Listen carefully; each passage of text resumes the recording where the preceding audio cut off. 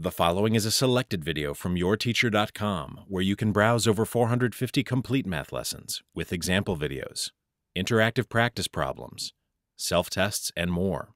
Try a complete lesson today at yourteacher.com. When you're asked to solve an inequality like negative 3x is less than 12, your goal should be the same as it was when solving equations, to get x by itself on one side.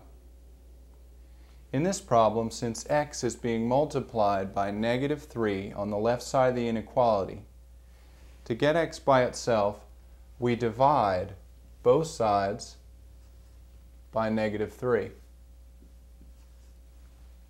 But here's the rule you have to watch out for when solving inequalities. When you divide both sides of an inequality by a negative number, you must switch the direction of the inequality sign. So this less than in our original problem becomes greater than in our second step. On the left side, the negative 3's cancel, and we're left with x. And on the right side, 12 divided by negative 3 is negative 4. So we have x is greater than negative 4. Our next task is to graph x is greater than negative 4 on a number line. And to do that, we start with an open dot at negative 4. The reason we use an open dot at negative 4 is that x is greater than negative 4, but it is not equal to negative 4.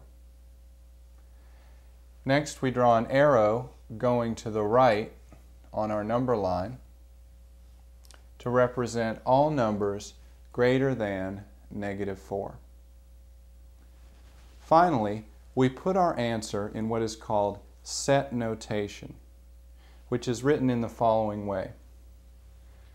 The set of all x's such that x is greater than negative 4.